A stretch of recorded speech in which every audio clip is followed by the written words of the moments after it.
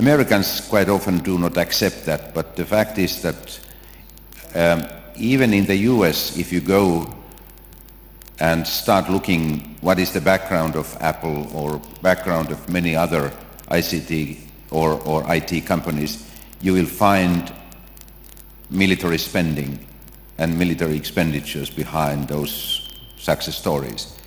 And, and they are governmental money.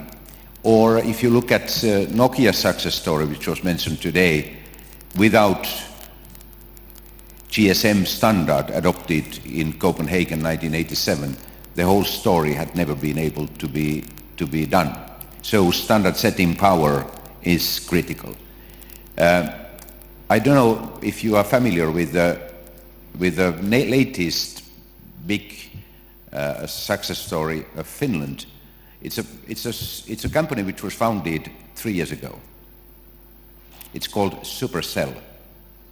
It's an internet game, gaming company, which was originally based on Nokia's decision in 2002 to start producing devices for gaming, N-Gage.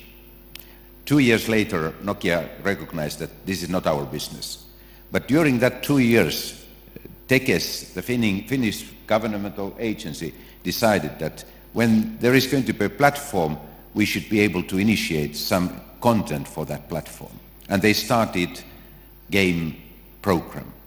Few millions, 10, 15 million, I don't know exact figure, but something like that was spent for that. And when Nokia decided to leave, Tekes came to the conclusion that we don't stop.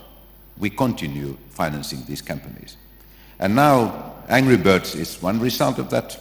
You all know that it's a global big brand.